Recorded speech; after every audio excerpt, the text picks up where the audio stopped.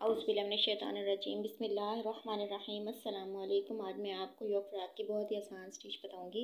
पिछली वीडियो में मैंने आपको इसकी कटिंग बताई थी तो अब हम इसकी स्टिच करते हैं। ये मैंने थ्री पॉइंट फाइव पे अपना गला तैयार करना है और थ्री पर मैं अपनी ये पट्टी लगाऊँगी, जो कि एक इंच चौड़ी और चार इंच लंबी है। तो ये हमारा फ्रंट गला है। अब मैं पहले, सबसे पहले स्टिच, जो हमारी पट्टी है, वो मैं स्टिच करूँगी।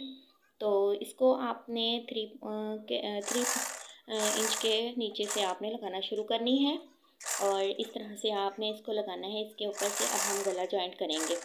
तो गला जो है मैं थ्री पॉइंट फाइव पर मैंने कटिंग किया है। तो थ्री पॉइंट फाइव पर मैं इसकी गले की जो बाहर की साइड है वो पहले बनाऊँगी।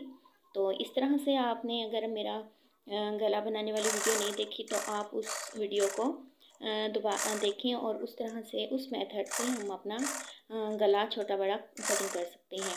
तो ये मैंने अब कटिंग कर यह मैंने अब बाहर से स्टिच कर लिया है। अब मैं इसको अपनी जो पेटी है वहाँ पर ज्वाइंट करूँगी। तो ये मैंने अपनी पेटी ली है और यहाँ पर मैं two point five two point five यानी कि हमारा फाइव इंच लंबाई में और चौड़ाई में सॉरी और लंबाई में थ्री पॉइंट फाइव हमारा नेक तैयार होगा। तो अब मैं नेक की इस तरह से स्टिच करती हूँ और स्टिच करने के बाद अब मैं इसको दरमियान में से कटिंग कर दूँगी और छोटे छोटे टक लगा दूँगी। ये देखें, ये इस तरह से आपने आधे इंच के मार्जिन पर आपने अपना जो हमारे गले का एक्स्ट्रा जो हमारा जहाँ पर हमने स्टिच किया था, उससे एक्स्ट्रा हमने आधा इंच छोड़कर तो कटिंग कर लेना है।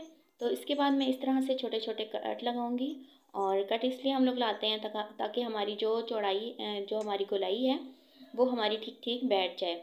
तो इसके बाद अब मैं इसके एक बिल्कुल कनी पर, गले की कनी पर एक जो है वो गले की कनी पर स्टिच करूँगी, बिल्कुल। तो ये मैंने गले की कनी पर आपने स्टिच करना है, ताकि हमारा गला अच्छे से बैठ जाए। इसके बाद हम हैंड स्टिच जो हमारा नीचे से हम उसको जहाँ पर हमने उसको मोड़ा है तो वहाँ पर हम उसको हैंड स्टिच कर देंगे। यहाँ पर मैं एक बिल्कुल कहीं पर अपने स्टिच कर रही हूँ। तो अगर मेरी आपको इस तरह से योग फ्रॉक बनाना अच्छी लगे तो आप प्लीज़ सब्सक्राइब कीजिएगा एंड शेयर कीजिएगा एंड इसको and bell click black bell icon को भी प्रेस दबाइएगा ताकि मैं मेरी आने वाली हर वीडियो आपको पहुँच सके। अब मैं इसका तीरा जोड़ने लगी हूँ। तो तीरा आपने इस तरह से जोड़ना है कि जहाँ पर हमारा शुरू होता है, वहाँ पर भी आपने डबल लगाना है और आखिर में भी आपने डबल स्टिच करना है। तो इसके बाद आगे से सेट करते हुए हम इसको लेते जाएँगे और इस तरह से हम अपना पूरा गला जो हमारा तीरा है वो इस तरह से सेट करके हम अपना तीरा ज्वाइन कर लेंगे। तो इसके बाद हम अपना जो हमारा बैक गला है, वो हम स्टिच करेंगे, पहले हम कटिंग करेंगे। इसको आपने जो हमारा अगला फ्रंट गला होता है उससे आपने आधा इंच आपने छोड़कर तो आपने कटिंग करना होता है, क्योंकि हमने आधा जो हमारा इंच हम रखते हैं, वहाँ पर हमारी स्टिच आ जाती है। तो यहाँ पर मैं इस तरह से इसको गोलाई में कटिंग करूँगी और इसके बाद मैं अपना कपड़ा लूँगी, जो कि हमने पहले से कटिंग किया हुआ है, इसी मेथड के मुताबिक। तो उसको हम इस तरह से स्टिच करेंगे और जो हमारा एक्स्ट्रा हम पहले इसको सेट करेंगे, जो हमारा एक्स्ट्रा ऊपर से कपड़ा होगा, उसको हम ऊपर निकाल देंगे ताकि जो हमारी गोलाई है वो हमारी ठीक से आ जाए। यहाँ पर मैं इस तरह मोड़ते हुए अपना ये बैक नेक इस तरह से घुमाते हुए स्टिच करूँगी और अपना इसके दरमियान में से कटिंग कर लूँगी। तो बाद में भी आपने इसी तरह कंधे की तरफ़ मोड़ करके तो इस तरह से इसको डबल करके तो आपने बाहर निकाल लेना है अपना कपड़ा और इस तरह से इसको एक्स्ट्रा जो कपड़ा होगा हमारा उसको कटिंग कर लेना है। और बीच में से आपने इसको कट लगा देने हैं और अंदर की तरफ़ मोड़ देना है। तो अंदर की तरफ़ जब हम मोड़ेंगे तो इसके बाहर से जहाँ से हमने मोड़ा था वहाँ से हम इसको स्टिच कर देंगे दोबारा से ताकि जब हम दोबारा हैंड स्टिच करें तो हमारा ये कपड़ा हमें फोल्ड मिला हुआ हो और हमें मुश्किल ना हो। तो यहाँ पर भी इस तरह से आपने इसको जो मोड़ लेना है। तो इस तरह से ये हमारा अंदर से गुम सिलाई में आ जाएगा और बहुत ही प्यारा लगेगा अंदर से बैक साइड से। तो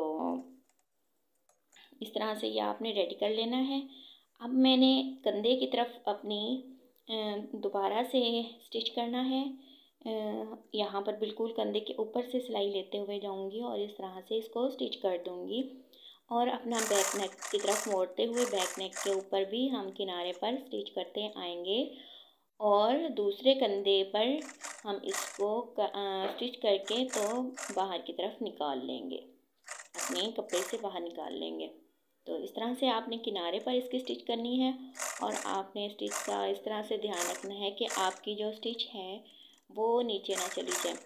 तो यहाँ पर आके मैं इसको कंधे के ऊपर से दोबारा स्टिच कर दूँगी। इस तरह से हमारा कंधा बहुत ही अच्छे से बैठ जाएगा। और इसके बाद अब हम अपनी, ये देखें, ये हमारा इस तरह से हमारी पेटी तैयार हो गई है। बहुत ही प्यारी लग रही है, नीचे से हमने ये इस तरह से किया था। अब मैं इसको अपनी जो हमारी पेटी है उसको हम डबल करके इसको यहाँ से टक लगा देंगे, ताकि हमारी जो पेटी है और हमारी जो फ्रॉक है, उसका जो दरमियान है वो यहीं पर आ जाए। तो इस तरह से मैंने इसकी यहाँ पर भी कटिंग कर लेनी है। तो अब मैं आपको बताऊँगी कि किस तरह से हमने दरमियान में इसकी चुनट डालनी है।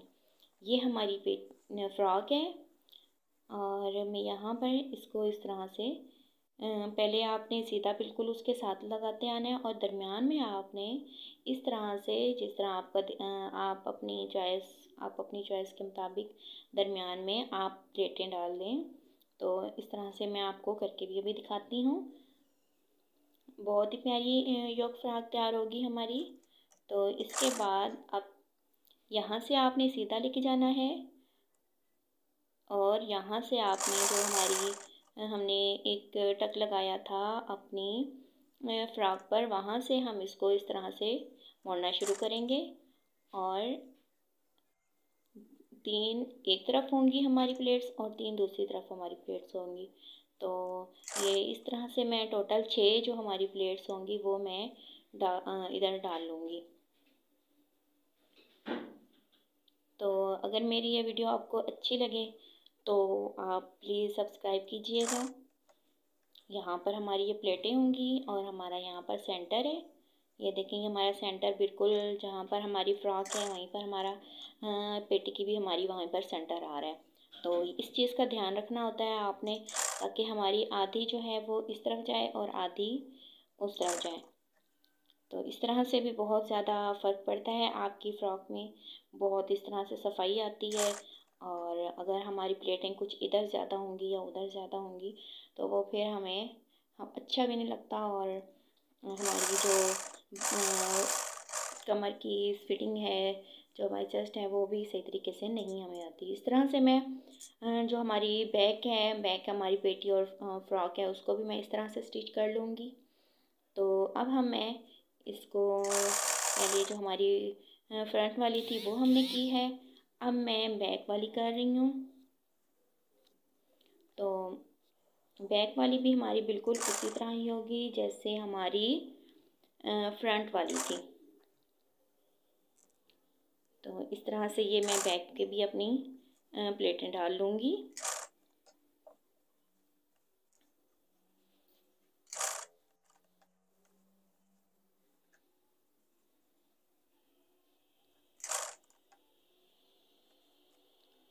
आप इसको अपनी जिस जितनी एज की बच्ची की बनाना चाहें बना सकते हैं। तो ये जो है, ये मैं छोटी बच्ची की नहीं, लेकिन थोड़ी सी बड़ी, जैसे सात, आठ साल की बच्ची की बना रही हूँ। तो इसकी लेंथ थोड़ी सी बड़ी ली है मैंने। अब मैं यहाँ पर दोबारा से स्टिच करूँगी, अपने बाजू की और फिटिंग कर फिटिंग नहीं करूँगी, सिर्फ़ चेस्ट की चेस्ट पर निशान लगाकर और इसी तरह से आपने इसको सीधा ही स्टिच कर लेना है। तो इसको भी आपने इसी तरह स्टिच करना है और अपना दामन फोल्ड कर लेना है। तो अगर मेरी ये वीडियो आपको अच्छी लगे तो प्लीज़ सब्सक्राइब कीजिएगा एंड क्लिक ब्लैक आइकॉन को भी कीजिएगा। शुक्रिया। तो ये देखें ये हमारा जो गला है, ये भी बहुत प्यारा सा बना है। चुनर्स भी हमारी बहुत प्यारी बनी है और हमारा गला जो है वो बिल्कुल सफ़ाई के साथ बना है। अगर आप यहाँ पर बटन लगाना चाहें तो बटन लगा सकते हैं। ये देखिए हमारा बैग गला है। और बहुत ही प्यारा फिनिश के साथ, बहुत प्यारी माशाल्लाह बहुत, और इस तरह से हमने अपने बाजू बनाए हैं, बिल्कुल खुले। आगे से हमने कोई बेल बॉटम नहीं बनाया। बिल्कुल हमने सीधे, जैसे आजकल आप आजकल हमारा आया हुआ है, इस तरह से डिज़ाइनिंग तो उसी तरह के मैंने ये यॉक फ्राक में बनाए हैं। ये देखिए, यहाँ पर प्लेटें भी बड़ी खूबसूरत सी लगी हुई हैं और पिछली साइड पर भी हमारी ऐसी ही प्यारी सी प्लेटें हैं। तो कैसी लगी आपको मेरी ये वीडियो? अगर आपको मेरी ये वीडियो अच्छी लगे तो प्लीज़ इसको पूरा आप वॉच कीजिएगा एंड सब्सक्राइब भी कीजिएगा एंड शेयर कीजिएगा। तो मिलते हैं आपको अगली वीडियो में। अल्लाह हाफिज़।